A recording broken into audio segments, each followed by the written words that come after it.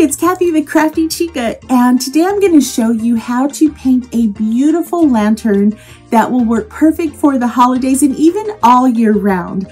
I'm using the DecoArt multi-surface satin paints, which I love. I use them for everything. They're a main staple in my craft room because I use them on glass, plastic, wood, in this case, terracotta. I love painting on terracotta. And what I love about the multi-surface paints is that you can blend them easily, you can layer them, you can mix and match them, or you could choose to use them as is. There's so many beautiful colors that you can incorporate into your projects. Now, I ended up painting two of these lanterns. They're also called chimeneas because it's like a little mini chimney. I just think they make great decor for around my front porch and my house, even to give as a hostess or housewarming gift. And I thought I would share the process with you. So let's get started. I'm going to tell you everything you need to do this, and you're going to end up with an awesome lantern. We are starting with a terracotta luminaria, also known as a chimenea.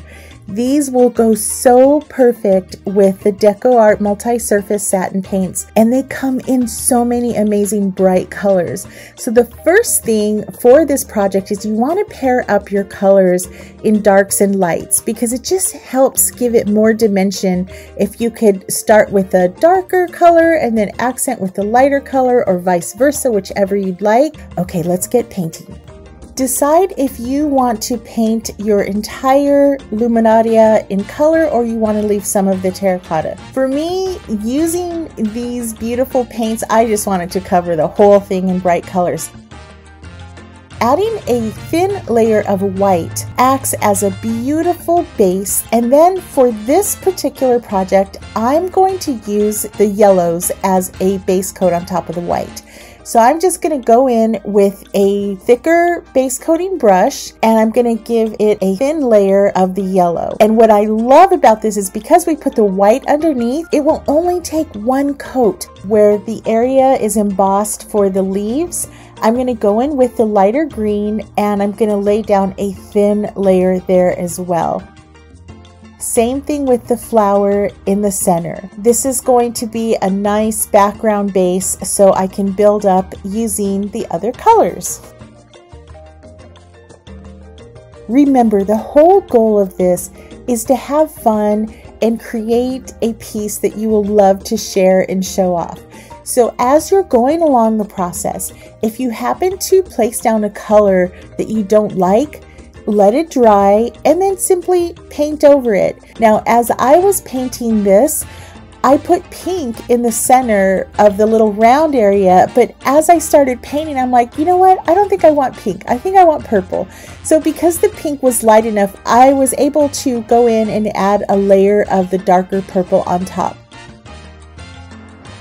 Okay, remember when I told you about using the dark and light colors?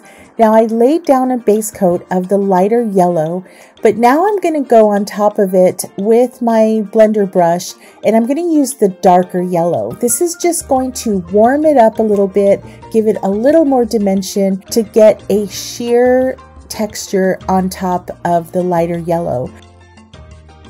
Now it's time to make it all come together.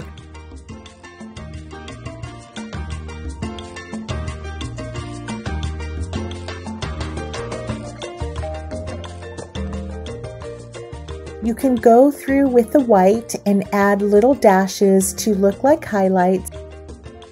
Also use a skinny black liner to add little touches of black.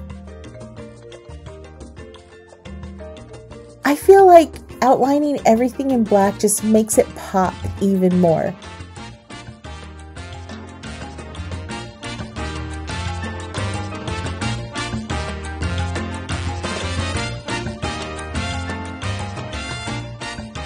White is also a nice color to add just some little interesting surprises like little tiny dots.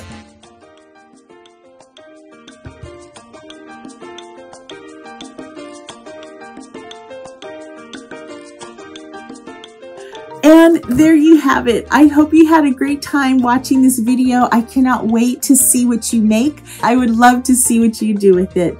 Don't forget to like, share, and subscribe. And visit me over at craftychica.com for even more crafty ideas. And don't forget to visit decoart.com for lots of creative ideas. Thanks, guys. Bye bye.